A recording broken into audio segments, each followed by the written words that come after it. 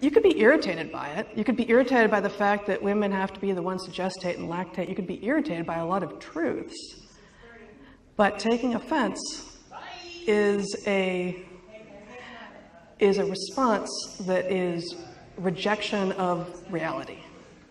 So men and women are different on height, they're different on muscle mass, they're different on where fat is deposited on our bodies, right?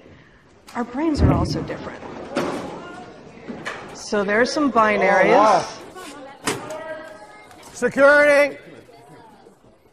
This is this is what happens. Oh, did they shut off the volume? Can you hear? Can can everybody hear? Really?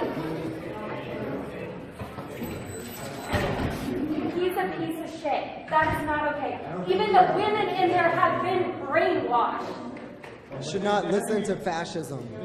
It should not be tolerated in civil society. Nazis are not welcome in civil society. Fuck the police! Cover the people! Thank you.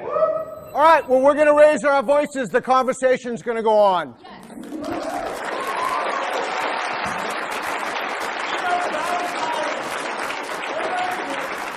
Let, let, let me be crystal clear. That sort of behavior is unacceptable in civilized societies. And if that person is a student,